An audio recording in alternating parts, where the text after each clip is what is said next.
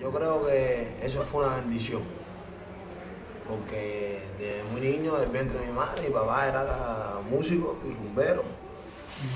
Y, y convivía ahí, yo convivía con eso, la- la- las personas iban y decían, macho, ah, no sé, va a tocar aquí, no sé, va a guarachar un pedazo. Y yo, desde muy niño, oyendo la rumba, la clave, yo con cinco años ya estaba tocando clave. Porque ahí los discos, antiguamente había unos discos, unos tocadiscos, eso así. de- de eso, eso es, del tiempo. Long play, long play. Yo no estaba niño cuando eso, pero me acuerdo, me acuerdo como si fuera, si fuera ahora mismo.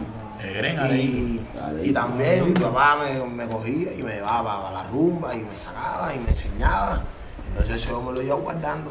Siempre fui una persona penosa también, ahora que soy un poquito más relajado y me veo con los compañeros, pero siempre fui vivido.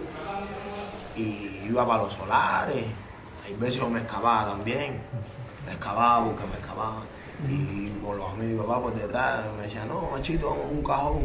Y yo hacía así, Esa iba a la escuela y Los cajones son música bantú.